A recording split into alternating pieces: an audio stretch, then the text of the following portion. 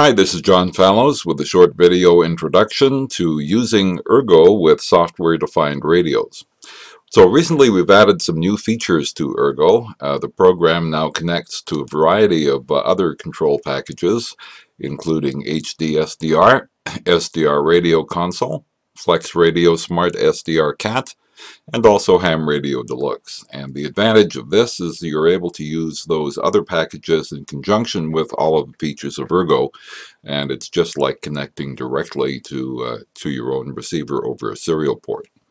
So if you read the FAQ, uh, what you will find is uh, these other applications control to a huge variety of uh, software-defined radios. It's pretty amazing the number of radios that are out there today and uh, that uh, are supported. And uh, the FAQ also contains more information on how to connect. Um, here's an example. Uh, these other packages tend to make a CAT connection available over a serial port, which means that Ergo can connect to it. So for example, in uh, SDR console, if you open up program options, under the Serial Ports tab, you will see that uh, you have the ability to connect this application over one end of a virtual serial port cable that runs to another piece of software.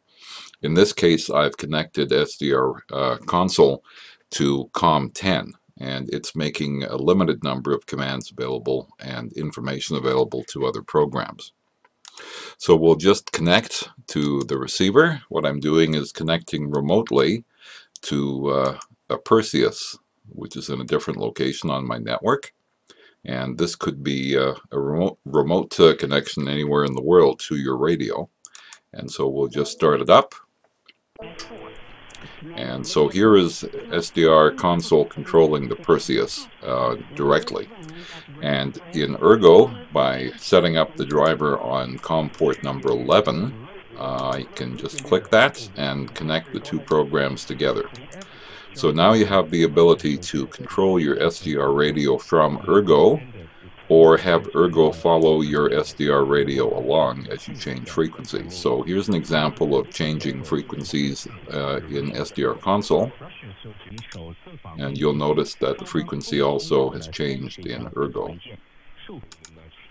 Similarly, you can change uh, to um, to uh, synchronous AM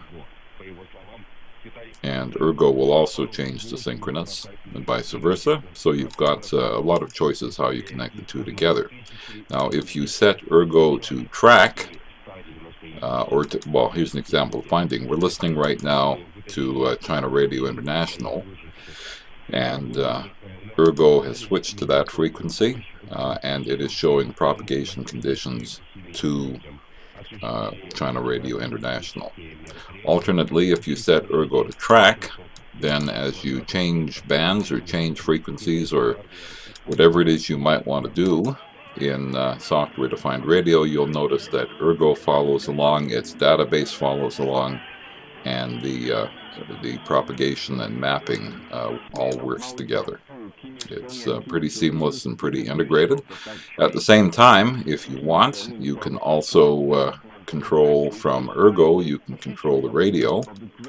Um, so if we just want to go back to, uh, say, WWV, I can enter 15 megahertz on Ergo, and it will change the software-defined radio to 15 megahertz as well or vice versa. We can go to uh, just pick a frequency randomly, any frequency we want, and it will change the software-defined radio to that frequency.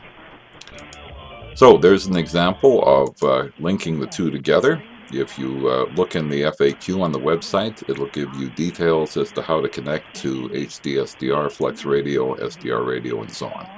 So thank you for this opportunity to uh, present uh, the new feature available in Ergo, and I hope you get a chance to enjoy our software with your favorite software-defined radio.